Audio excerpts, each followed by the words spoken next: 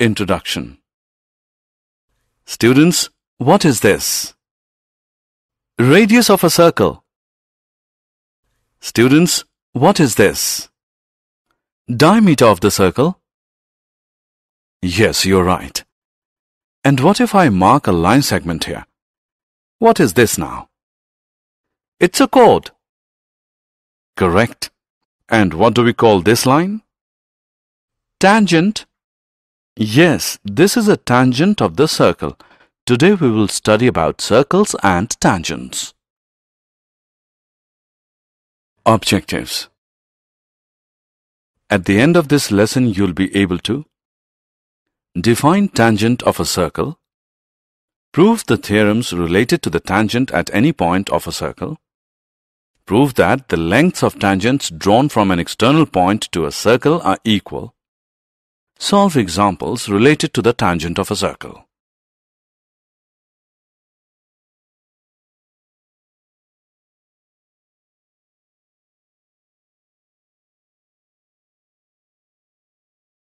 Definition Students, let us draw a circle and a line in a plane. We can see that the line and the circle do not have any common point. So, the line is called a non-intersecting line with respect to the circle. This is the other way we can draw a line and a circle. We can see that there are two common points A and B that the line and the circle have. In this case, the line is called a secant of the circle. And this is the third way we can draw a line and a circle.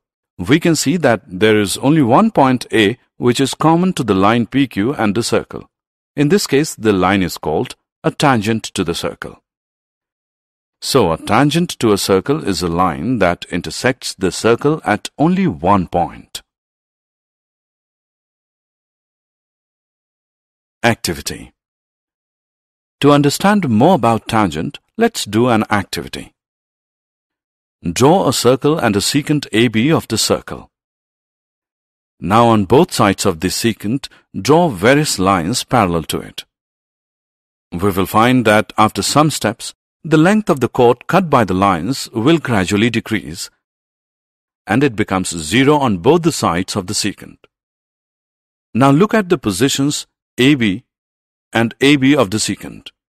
These are the tangents to the circle parallel to the given secant AB.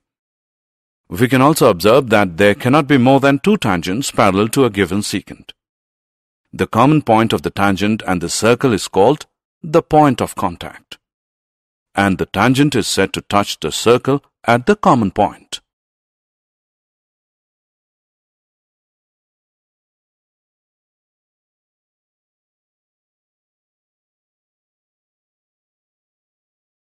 Theorem The tangent at any point of a circle is perpendicular to the radius through the point of contact. We are given a circle with center O and a tangent xy to the circle at a point P. We need to prove that OP is perpendicular to xy. Take a point Q on xy other than P and join OQ. Also, the point Q must lie outside the circle because if Q lies inside the circle, then xy will become a secant and not a tangent to the circle. Therefore, OQ is longer than the radius of OP of the circle. That is, OQ is greater than OP. Since this happens for every point on the line xy except the point P, so we can say that OP is the shortest of all the distances of the point O to the points xy. Hence, OP is perpendicular to xy.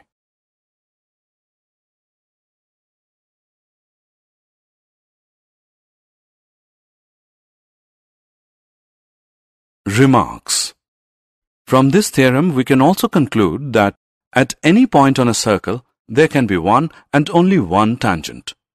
And the line containing the radius through the point of contact is also sometimes called the normal to the circle at the point.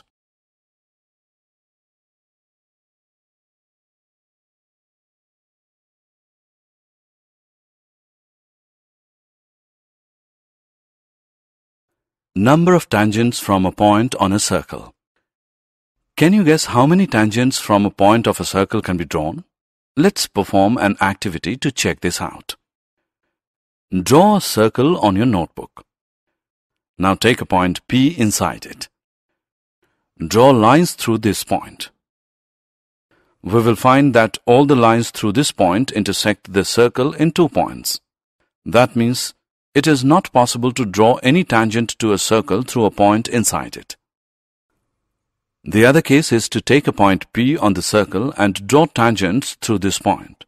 We can observe that there is only one tangent to the circle at such a point.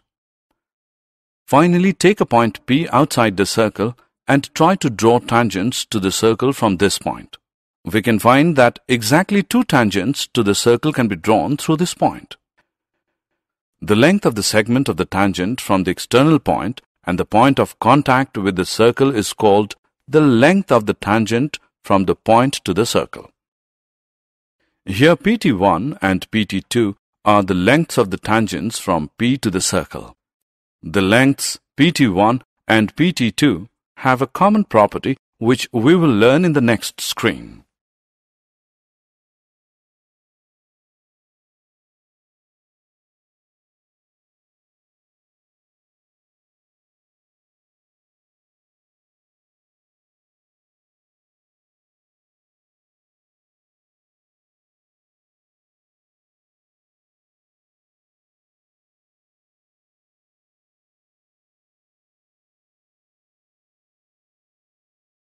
Theorem The lengths of tangents drawn from an external point to a circle are equal.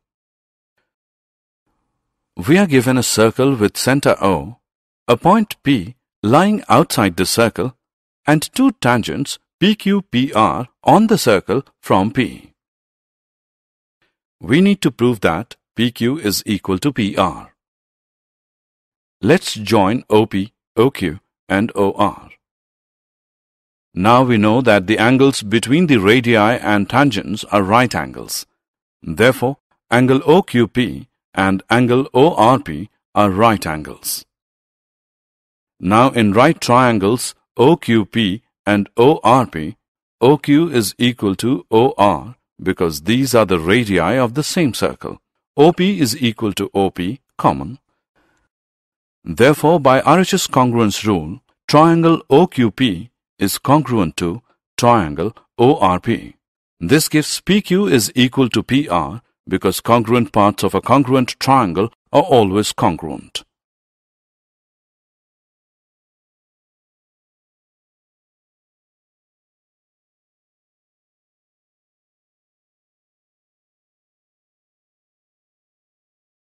Example Now look at this figure. We can see that AB is a tangent to the circle with center C. AB is 15, AC is 17, and BC is x. We have to find the value of x. We can see that x is a radius of the circle. Since x contains B and AB is a tangent segment, therefore by using the theorem of tangents, we can say that x is perpendicular to AB. So the triangle formed by X, AB and CA is a right triangle. Now by using the Pythagoras theorem we get 15 square plus x square is equal to 17 square or x square is equal to 64 which gives us x as 8.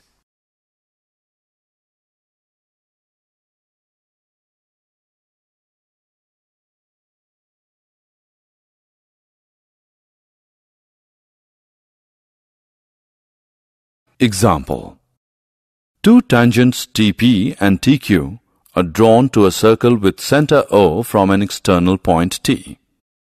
Prove that angle PTQ is equal to 2 angle OPQ. We are given a circle with center O, an external point T and two tangents TP and TQ to the circle where P and Q are the points of contact. We need to prove that angle PTQ is equal to 2 angle OPQ. Let angle PTQ is equal to theta. Now from the theorem of tangents we know that the lengths of tangents drawn from an external point to a circle are equal. Therefore, TP is equal to TQ. So, TPQ is an isosceles triangle. Therefore, angle TPQ is equal to angle TQP which equals 1 upon 2 into 180 degree minus theta which is equal to 90 degree minus 1 upon 2 theta. Also, we know that tangent at any point of a circle is perpendicular to the radius through the point of contact. Therefore, angle OPT is equal to 90 degree. So, angle OPQ is equal to angle OPT minus angle TPQ which equals 90 degree minus 90 degree minus 1 upon 2 theta equal to 1 upon 2 theta equal to 1 upon 2 angle PTQ or angle PTQ is equal to 2 angle OPQ. Example Look at the figure given. Find the value of x. In triangle OPT, angle OPT is 90 degree because OP is perpendicular to TP. Also, by using angle sum property of a triangle, we can say that x degree plus 56 degree plus 90 degree is equal to 180 degree, which is equal to x plus 146 degree, which equals 180 degree. Solving this, we get x as 34 degree. Hence, the value of x is 34 degree.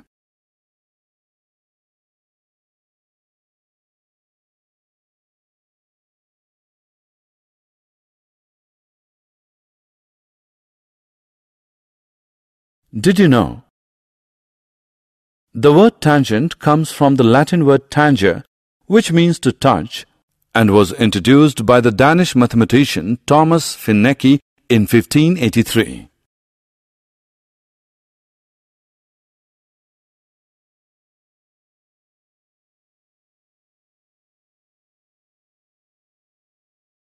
Summary Let us summarize what we have learned. A tangent to a circle is a line that intersects the circle at only one point. The tangent to a circle is perpendicular to the radius through the point of contact.